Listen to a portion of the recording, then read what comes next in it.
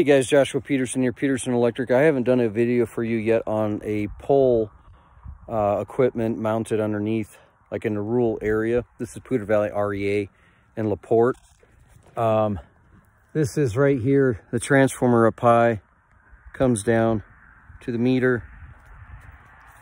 And then we went ahead and installed a new cabinet, an MBR1 clip for 100 amp and then two 70 amp breakers. We had to butt splice that to get that in that inch and a half. Supported that with a slip conduit and piece of struts. Intersystem bonding bridge bar to a gutter because this wire was too short. Grounded it and then to the ground. And then of course we have our outlet there.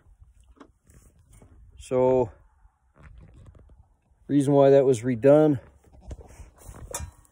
it's because Poudre Valley REA said not a good deal. It looked like this.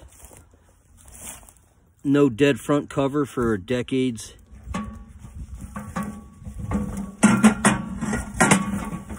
And the disconnect, if I can get it open.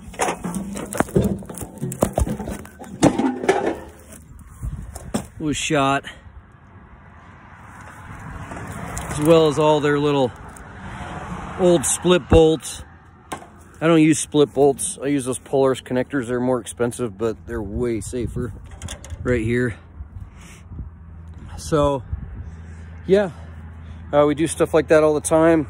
Uh, give you a good visual on that whole thing. Funnest part was that barbed wire fence. And that goes out to a cabinet way out there. And that one we got a gut yet today. It's starting to snow here, but put on just a, a box because I don't think I want to energize that. That has no dead front or cover either. All right, guys, thanks for joining us.